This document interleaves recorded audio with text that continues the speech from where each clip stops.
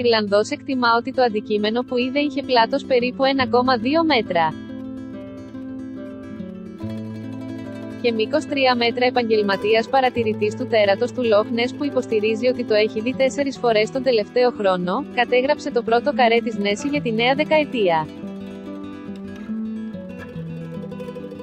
Ο Ιρλανδός 55χρονο Έο Ινόφοντ Καγκέιν έχει δει το τέρας του Λόχνε υποστηρίζει, σύμφωνα με την Daily Mail, ότι είδε το μυθικό τέρας να κολυμπά στις 18 Ιανουαρίου στην περιοχή Έρκουχαρτ Bay και μάλιστα το κατέγραψε σε βίντεο. το οποίο υπέβαλε στο επίσημο αρχείο καταγραφής των εμφανίσεων του τέρατος του Loch Το βίντεο επιβεβαιώθηκε από το αρχείο και έτσι είναι η πρώτη επίσημη εμφάνιση της Νέση για τη δεκαετία του 2020 από τον περασμένο Οκτώβριο.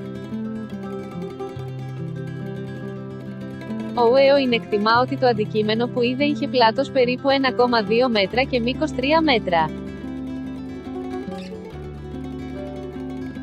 Είναι τέλειο που ήμουν ο πρώτος που είδα το τέρας του Loch Ness για τη δεκαετία. Υπάρχουν πολλές εικασίες ότι αυτό το πλάσμα είναι μεταναστευτικό αλλά εγώ πιστεύω ότι η Νέση δεν πάει πολύ μακριά από τη λίμνη.